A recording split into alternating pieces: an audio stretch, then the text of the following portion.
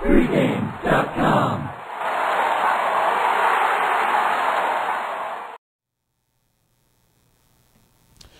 Tuesday night, Dayton, Ohio. It's the plus four. Used to be the play-in games, Stephen. Now it's the plus four teams.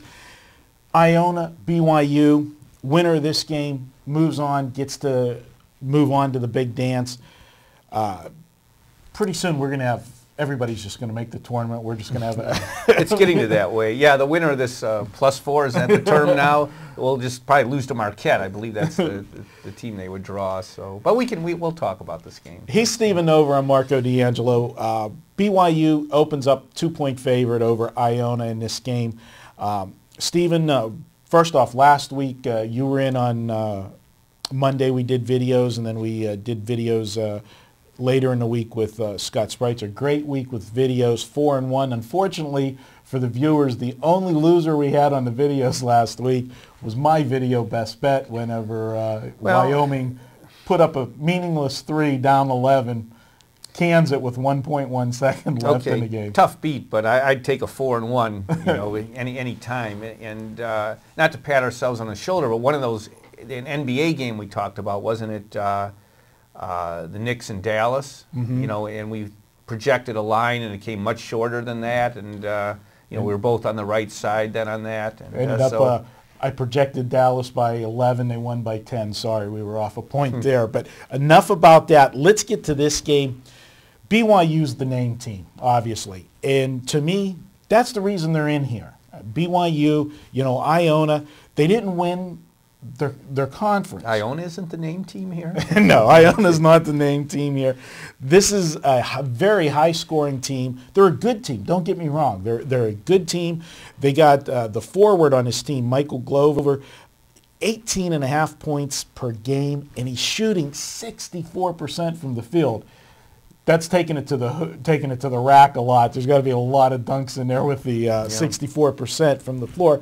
But this is a team that won their conference during the regular season, but lost the conference tournament. And we know that these, we're going to call these mid-majors, when the team doesn't win their conference tournament, generally they get screwed, no matter what they did during the regular season. But here's a team that is getting a shot. It's in the plus four, but they're getting a shot to make the big dance. I think they can do it. BYU, I'm not impressed. You know, Jimmer's still not there. This is a team that got a lot of hype the last few years because of him. They changed conferences, went to the West Coast Conference, and you know that conference is dominated obviously by Gonzaga and St. Mary's.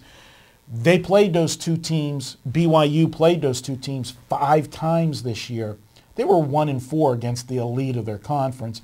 I just don't see how they get the bid here. They don't have a quality win. Um, I just think they finished third in that conference. That's really a two-horse conference. You know, now BYU brought, you know, a little bit of a name to it, but BYU was down this year, not beating the top guns. And who was their quality win this season outside of the conference? Oregon.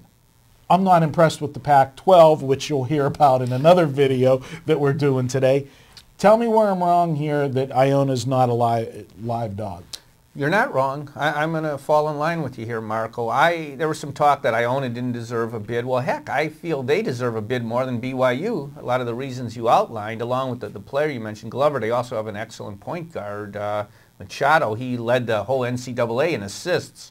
Iona can really score a lot. You know, so can BYU, but uh, it's quite a quite a difference. You know, the team coming uh, from Utah and a team I Iona made up of New York City athletes, you know, so we're going to have, but both these are up and down teams. There's going to be a lot of points here. Although a red flag goes up with BYU, could not match up, as you mentioned, against uh, the upper uh, elite teams in, in, their new conference, uh, that being Gonzaga and St. Mary's.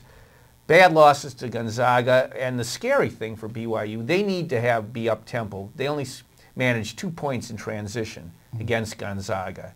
And now they're taking on Iona, another up and down team. That to me is a red flag, and it, it points out uh, strongly, I think, in favor of, of your opinion to Iona.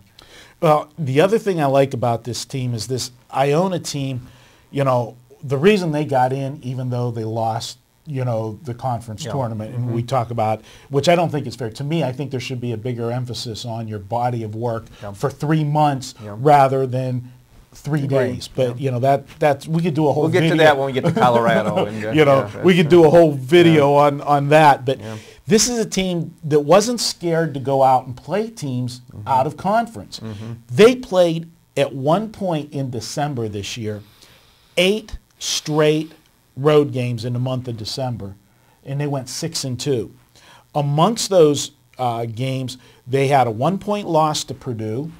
They had wins over Western Michigan, Maryland, and St. Joe's. Now, we're not talking about the absolute elite mm-hmm. out of conference, but for a team like Iona to schedule that many, you know, name teams that we know and, and come out six and two and play eight straight in a row, that, that had to be hor- you know horrible for this team on the travel, and they that toughened them up. I think they win this game and move on to Thursday. Can't disagree with you, Marco. I'm glad they got a bid, and I'm glad that the tournament committee recognizes uh, strength of schedule and teams not afraid to go and, and schedule hard schedules. And uh, I'll fall in line with you here. All right. Well, there you have it.